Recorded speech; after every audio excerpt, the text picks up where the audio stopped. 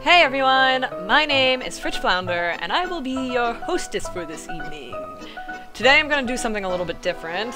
Today I'm gonna play a visual novel for you, which I've been wanting to do for a little while now, but I wasn't so certain visual novels would like translate well to Let's Plays because, you know, there's not a lot of movement going on, and it's mostly reading. And, um, but I really like this one. It's called Locked In. Uh, it's free, and I'll try to put a download link in the description. I keep itching my face. I'm so itchy. I'm So itchy. But, um, I really love the visuals, and I hope you'll join me on this little, uh, new experiment of mine. But, uh, okay. So let's go. Introduction,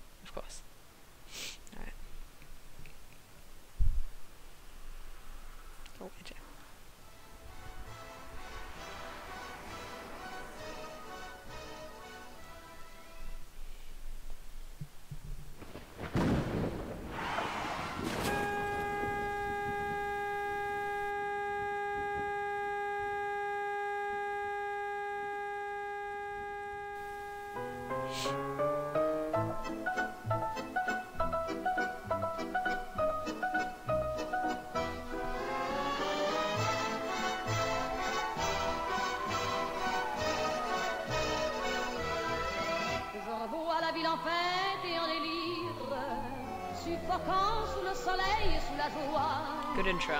Good intro. j'entends dans la musique les cris Accidents. An undesirable and unfortunate happening that occurs unintentionally usually results in harm, injury, damage, or loss, casualty, mishap, automobile accidents. A fortuitous circumstance, quality, or characteristic. Oh, you didn't think I was just gonna do it. I did it. I'm not blind. Not totally. I can detect light. Sometimes it's pitch black, like being in a cave. Other times it's bright, white. It's like being on a frozen tundra or some icy Jovian moon. I feel cold, there's nothing to see and nowhere to go. I can't open my eyes, can't move, can't speak. I can hear. I know I'm in the hospital. I know there was some kind of accident. What the hell happened to me?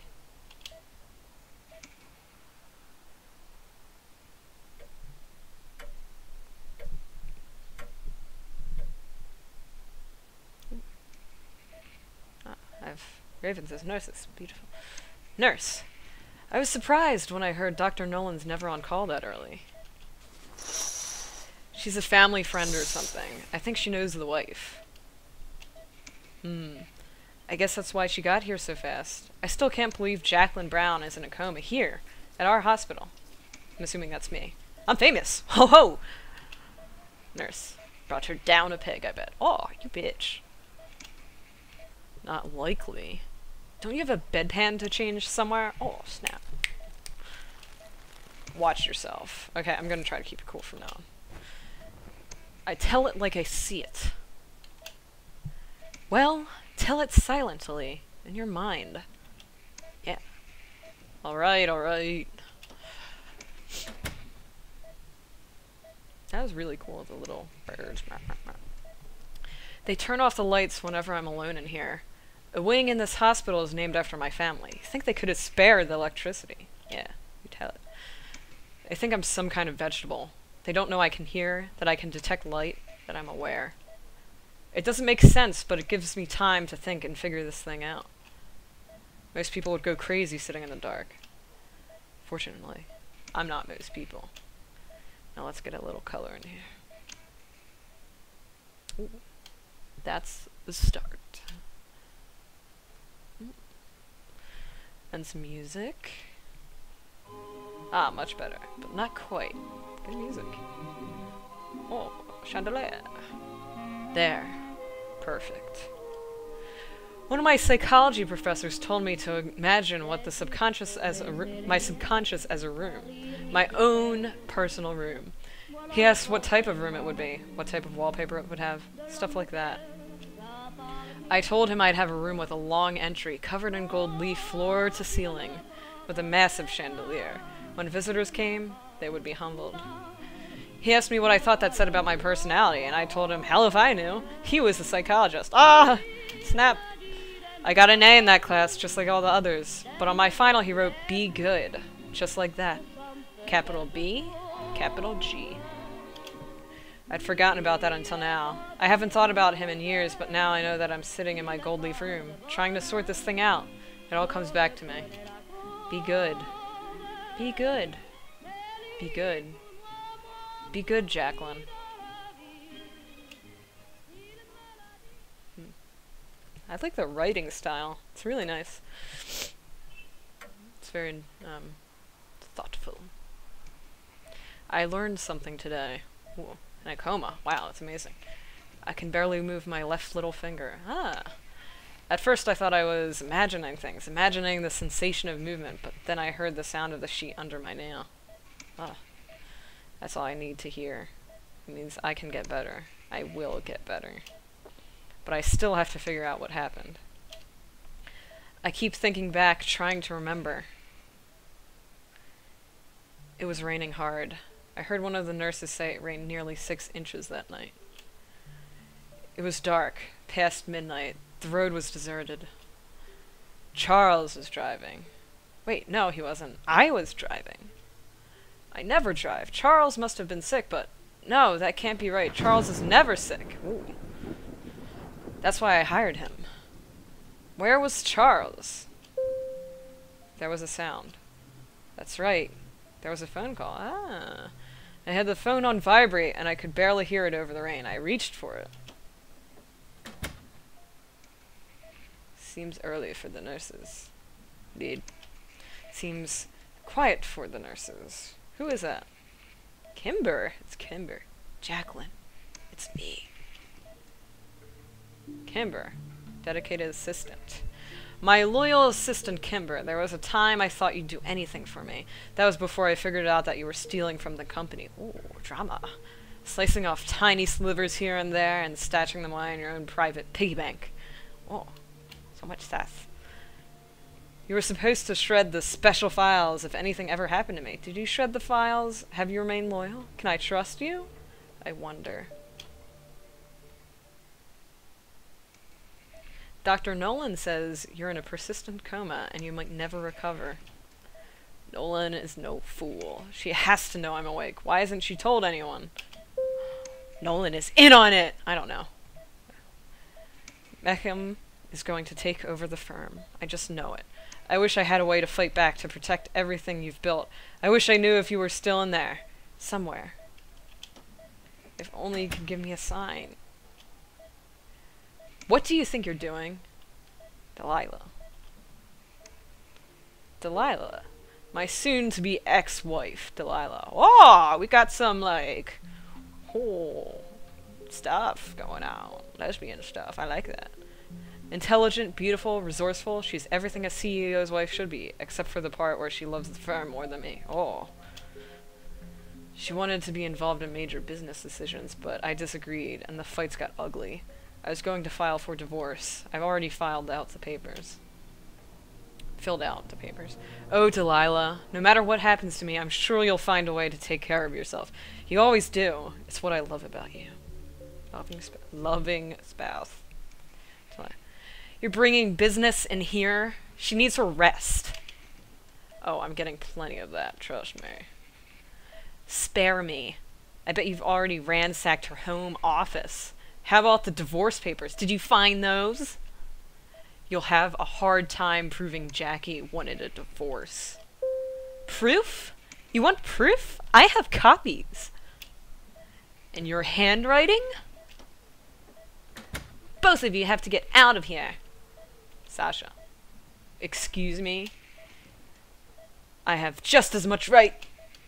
I can feel your negative energy all the way on the other side of the building. It's bad for Jack's spirit. How can you expect her to recover with you hovering around spreading your toxins everywhere? Oh my god, I don't like this one. Toxins. Forget this. I have somewhere to be. Sasha, I can see you're upset, but Jackie's my wife. I'm entitled to see her. If you want privacy, fine. Ten minutes. So this is it, Jack? Sasha, younger si- of course. Sasha, my kid's sister. We're in our 40s, but she'll always be a kid to me. Always three years behind, ten steps behind, four million dollars behind. Oh, she's poor. Or she, I, don't know. You never thought ahead. Not like I did. You skipped out on the company when times got rough, when things improved, and you wanted back in. I said no. Oh, good for you. I know you never forgave me for it. Family's supposed to stick together, but you are a financial liability, and we both knew it. In our family, our business always comes first. I knew something bad would happen to you one of these days. Is this the part where you prattle on about karma or whatever new thing you're into? Did you divine this into male order? Did you divine this in mail order tea leaves or the dreads of your Starbucks cup? This girl is so snappy. Apparently, Dr. Nolan thinks you're in comatose and you might never wake up. That's a nasty rumor going around. She won't give me the time of day, and the staff won't let me see your records. This is horseshit. I know you're in there, Jack. I know you can hear me. You've got a strong spirit, stronger than anyone I have ever known. If anyone can pull through this thing, it's you. Yeah. Normally, this is a point where I'd make some snide joke about auras or chakras, but damn it, she sounds like she really means it. I didn't realize how much I missed her.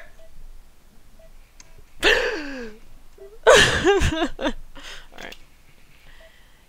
You and I haven't been on speaking terms in a long time. Maybe I shouldn't be here. Maybe you need time alone so you can heal. But this all feels so wrong. I'm doing like my Shatner. You're in a coma, and the lawyer's dead, and I don't believe in coincidences. The police say Brenda committed suicide around midnight, but it doesn't feel right. I remember Brenda. She wouldn't just take a handful of pills and call it a night. So, more people. Wait, Brenda. I can't let it go. I won't let it go. I'm going to find out what happened. Whether you can hear me or not. Whether you care or not. I owe you that much at least. Brenda's dead? A lot of women in this. People like me don't have friends. We have trusted advisors. Brenda was my most trusted advisor. She protected me from the board, from my wife, from my family. Sometimes she even protected me from myself. I remember now. I was going to see her. I was supposedly about the divorce papers and some other things.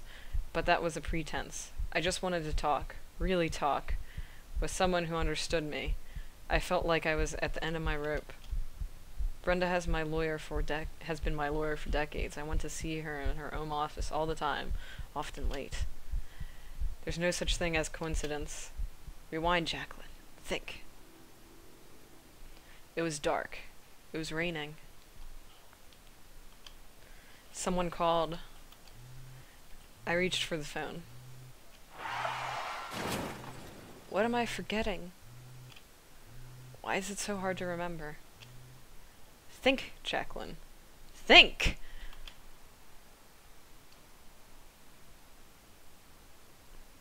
Okay, so that's gonna be it for now.